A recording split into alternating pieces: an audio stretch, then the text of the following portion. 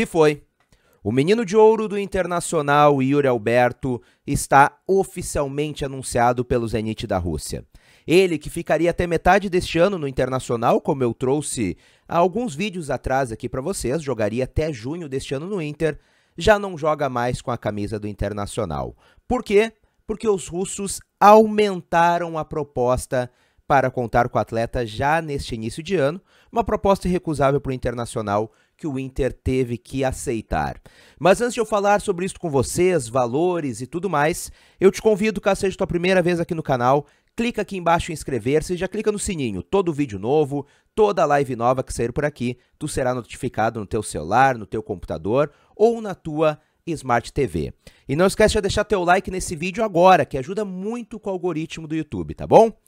Bom, vamos lá então. Vamos falar de Yuri Alberto. Eu falo com uma sensação esquisita sobre esse jogador, sobre esta venda, na verdade.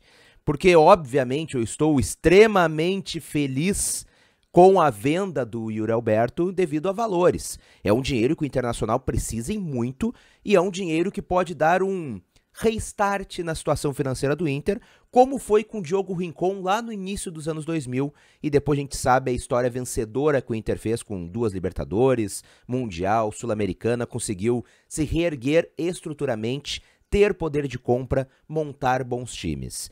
Então fico feliz com uma venda importante para os cofres do Inter mas fico triste pelo fato de saber que o Yuri Alberto não jogará mais com a camisa do Internacional. Ele que foi muito identificado desde que pisou aqui no estádio Beira-Rio, ele que correspondeu muito dentro de campo, sempre mostrou muito talento, foi o artilheiro do Inter nesta última temporada, tanto no ano quanto no Campeonato Brasileiro, mas agora não joga mais com a camisa do Inter. A partida contra o Juventude, o gol contra o Juventude, foi o último gol do Yuri Alberto, pelo menos por enquanto, com a camisa do Internacional. E como você sabe, o presidente Alessandro Barcelos já havia dito que o Internacional tinha fechado a venda para o Zenit, mas o Yuri ficaria até junho. Mas, após chegar lá na Rússia, os russos acabaram aumentando a proposta. Embora o Inter não confirme oficialmente valores, a situação é a seguinte: o Zenit pagaria 20 milhões de euros ao Internacional. 20 milhões de euros pela negociação do Yuri Alberto. Agora, eles aumentaram para 25 milhões de euros. Ou seja, um aumento de 25% na proposta inicial, com a condição de Yuri Alberto já ficar por lá e já começar o ano com eles. Diante disto, o Inter não teve o que fazer a não ser aceitar a proposta. É a maior venda da história do Esporte Clube Internacional, 25 milhões de euros por Yuri Alberto. Lembrando que o Inter tem 75% do passe do jogador, então 75% o Inter fica em torno de 112 milhões de reais desta negociação. É muito bom o Inter agora ter um poder de investimento, embora a gente saiba que as contas do Inter são muito grandes, que a dívida do Inter é muito grande e que o Inter tem que honrar com algumas dívidas em curto e médio prazo, mas é bom ter este dinheiro entrando nos cofres do clube. No planejamento financeiro, para 2022, o Inter previa 130 milhões de reais em vendas de atletas. Só agora, o Inter já coloca mais de 110 milhões de reais no bolso, somente com a venda do Yuri Alberto. Mas diga uma coisa, embora o Yuri seja um grande jogador, tem, tenda a crescer muito, tem um grande talento que todos nós sabemos e tenha feito muitos gols com a camisa do Inter, o Inter ficará muito bem com Wesley Moraes. Eu sei que foi um primeiro jogo diante do União Frederiquense, mas eu gostei muito do que eu vi do Wesley. Sabe fazer o pivô muito bem, é muito participativo, tem uma visão de jogo muito boa, como aquele passe de calcanhar para o Tyson, que o Tyson acabou errando o gol, mas é um cara que sabe usar o seu porte físico, 1,92m de altura, um jogador muito forte, a seu favor. E é um jogador que não tem medo de chutar a gol. É um jogador que chama responsabilidade. Ontem ele sofreu pênalti e ele quis bater. Lembrando que o cobrador de pênaltis oficial do Inter era Edenilson, que estava no jogo. Mas o Wesley Moraes pediu para bater, pegou a bola, assumiu a responsabilidade em sua estreia no Internacional e acabou marcando o gol. O Inter ficará muito bem com Wesley Moraes. Bom, e ontem após a partida, o técnico Alexander Cacique Medina voltou a reafirmar que o Inter segue buscando reforços para todas as posições, exceto gol. Ele já havia dito isto após a partida contra o Juventude e ontem, após a vitória por 2 a 0 contra o União Frederiquense, ele voltou a afirmar: o Inter segue buscando peças no mercado. Ou seja, não é porque já começou o Campeonato Gaúcho que o Inter está com o time fechado. Longe disso, o Inter segue buscando jogadores para reforçar o seu elenco e ir atrás do principal objetivo nesta, nesta temporada, que é o quê? A Copa Sul-Americana, que além de dar um bom dinheiro, tiraria o Inter da fila, infelizmente, de, de títulos que o Inter vem, e também já garantiria a vaga para a Libertadores de 2023. Destaques da partida de ontem, rapidamente, pois vocês já devem ter assistido vários pós-jogo após o jogo de ontem, mas destaques, ao meu ver, o Wesley Moraes, como já falei, e o David, ou seja, os dois estreantes da noite. O David muito participativo. Eu só não entendi o porquê ele jogou no lado inverso do que ele vinha jogando no Fortaleza e que ele se destacou por lá.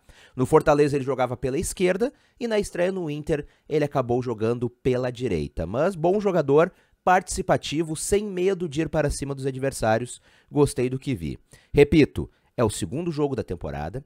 O Medina tem menos de três semanas de trabalho com o elenco do Internacional, muita coisa tem a evoluir. Mas o caminho está sendo trilhado.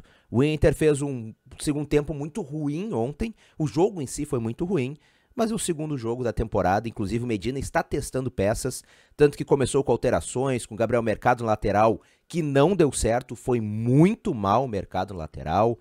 Também teve mudança no meio de campo com o Lisiero, teve o David, então o Medina está testando. E é claro que eu não posso encerrar o vídeo sem falar dele, né? Andrés Nicolás D'Alessandro. Em sua reestreia pelo Internacional, acabou calando a boca dos críticos, pois em 15 minutos em campo não errou absolutamente nada. Acertou passes, acertou lançamentos e fez um gol de falta que o Inter não fazia há anos. Um gol de falta, repito, o Inter não tem batedor de falta, gente. O Inter hoje tem para bater falta Edenilson e Victor Cuesta. O Tyson pode tentar de vez em quando, mas não tem cabimento. D'Alessandro vem para agregar isso. Não é titular? Não é titular. Não tem perna para ser titular durante vários jogos? A gente sabe que não devido à idade. Mas fato é que ontem entrou, entrou muito bem, e se seguir entrando assim no segundo tempo, pegando o time adversário já mais cansado, tende a agregar e agregar muito. O Inter ontem melhorou, o Inter melhorou e muito com a entrada de Andrés D'Alessandro em campo. E é claro, neste final de vídeo eu vou deixar vocês com a narração do gol do D'Alessandro, uma narração emocionante demais de Lucas Dalenogari da Rádio Inferno. Então já te agradeço por ter assistido esse, esse vídeo, esse filme não, né? Este vídeo e te convido, caso não seja inscrito aqui no canal ainda, clica aqui embaixo em inscrever-se e já clica no sininho. Fica agora com a narração do Daleno Gol, Lucas Dalenogari, lá na Rádio Inferno, deste primeiro gol de D'Alessandro na sua reestreia no Internacional. Essa bola é do D'Alessandro. Essa bola é do gringo. E ele tá lá do jeito mais D'Alessandro possível, apontando para a cara do juiz, com o juiz apontando o dedo para a cara dele, dizendo que a barreira do União Frederiquense está andando demais. Edenilson com a perna direita, D'Alessandro com a perna canhota. Essa bola é do Dali. Essa bola é do Dali. Estamos prontos para ver D'Alessandro cobrando uma falta perigosa com a camisa do Inter novamente. Autorizado. Partiu D'Alessandro, bateu, é gol!